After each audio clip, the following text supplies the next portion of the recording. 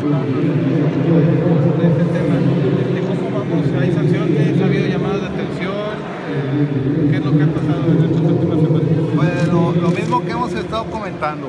Este, obviamente en las redes sociales en sus momentos eh, de manera informal se hacen comentarios y en ocasiones esos comentarios que no se hacen de manera formal ante las dependencias los quieren tratar como que si fuera la dependencia correspondiente e incluso que ya está dictaminado, pero en realidad este, al día de hoy se ha estado trabajando de manera normal.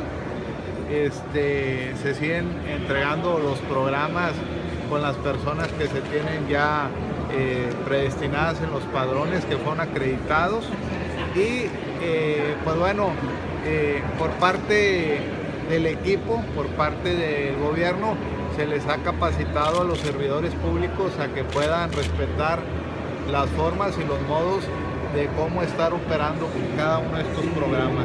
¿Estas entregas de despensas se han confundido con actos proselitistas en los últimos días? Pues bueno, no es que se estén confundiendo, o sea, sino es que en ocasiones así lo han querido manejar, lo, lo dejamos en claro. El programa eh, tiene que continuar, obviamente de ellos dependen miles de familias tamaulipecas que, que realmente este, sin este tipo de apoyo